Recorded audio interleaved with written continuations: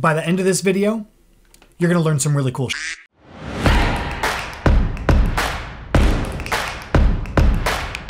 Hey everyone, welcome back. My name is Ian. This is Learn How to Edit Stuff, and today we are going to be leveling up our animation skills with the help of our good old friend AI. Now this tutorial is going to be perfect for those of you out there who are like me, who cannot draw or animate to save your lives, but who understand how to be creative in other ways. In my last video, I mentioned something called Gen 1, which is a tool that my team and I at Runway have been working really, really hard on over the last, I don't even know how long, to bring to you guys, and that's what we're gonna be leveraging today to do our animations. Gen 1 is a video to video model, which uses a video input plus a text prompt or an image prompt to drive the video output. You can access it via the web app at runwayml.com, or you can use the brand new iOS app that we just launched earlier in the week where you can use Gen 1 right from your phone and the canouts the canouts the accounts are interconnected and everything just works really nicely. And if you don't have a Runway account yet, what what are you doing? Go to runwayml.com right now, sign up for free. Yes, I said free, and you can use everything that we're going to use today in this tutorial for free. Did I say free? It's free. And I, of course, will be your tour guide to show you Gen 1 today, but before we jump into all that stuff, we have to go into step number 1. All right, step number 1 is know what you're aiming for.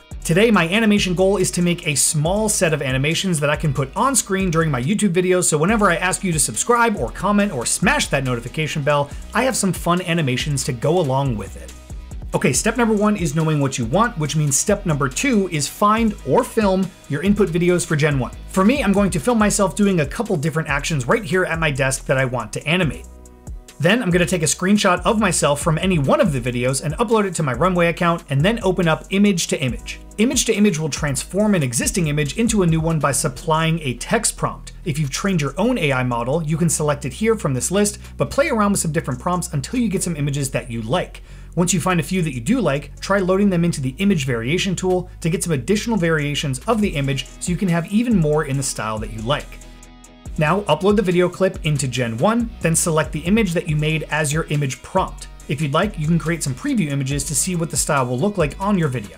Under the Advanced Settings tab, there's a few sliders here that you can adjust to get some different results. Since I want my animation to look as much like my video input as possible, I'll lower the structural consistency to zero so it's as close to my input video as possible, and bump up the style weight to around 10.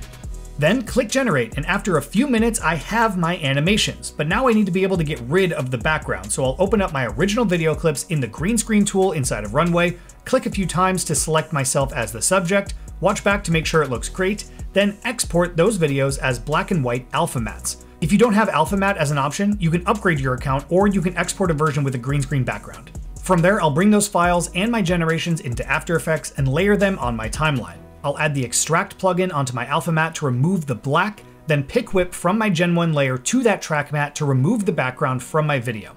If you did it the green screen way, just do the same exact thing but key out the green. Now I have my animation on an alpha layer. Add a few more effects if you want, like a matte choke or a roughen edges to jazz it up a bit, or you can posterize time to make it look more stop motion-y. Animate the layer popping in and out, and now I can export my animation with a transparent background so I can bring it onto my timeline and put it wherever I want. You've watched all the way until now and you're not subscribed yet?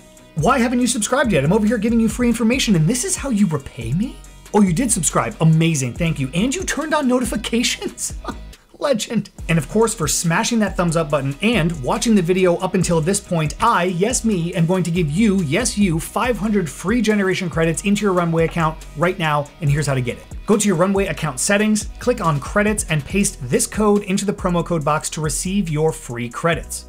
Now this offer is only going to be good for the first couple hours that this video is out, so if you're a die-hard learn how to edit stuff fan and you have those notifications turned on, hell yeah, take your 500 credits. If you don't have notifications turned on, this is a teachable moment. Turn on notifications and then you get free stuff from Runway because your boy is taking care of you, you know what I'm saying? And that, ladies and gentlemen, is today's tutorial. I know that you learned something pretty dang cool today, and all I ask in return all I ask, what is it? You smash that thumbs up button, you drop a comment in the comment section below, you subscribe to my channel to stay up to date on everything, learn how to edit stuff we're doing AI, and all the other stuff you care about in this world that's happening here on this channel. And I will see you in the next one.